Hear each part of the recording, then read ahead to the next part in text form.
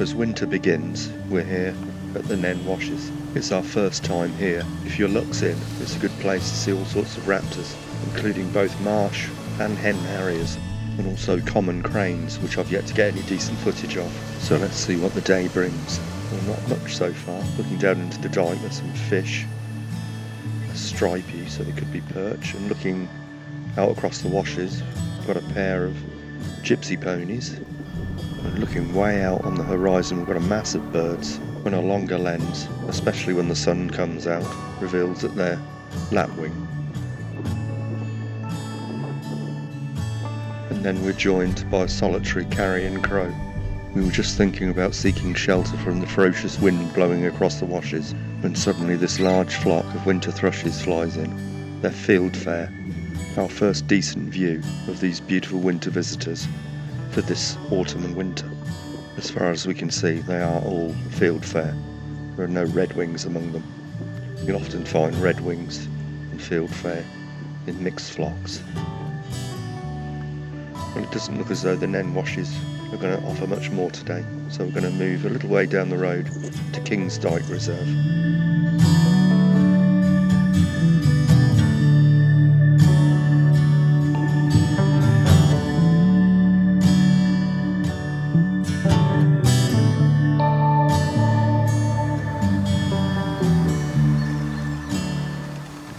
Here we are in the hide at King's Dyke.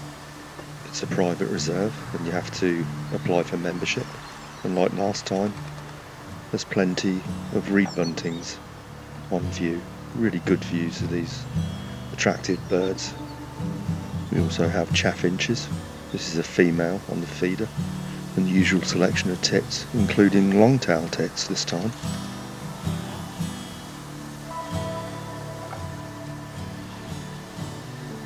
The moorhen ambles by, giving us good views of those specially adapted feet with those splayed toes designed for walking on vegetation, such as water lily pads.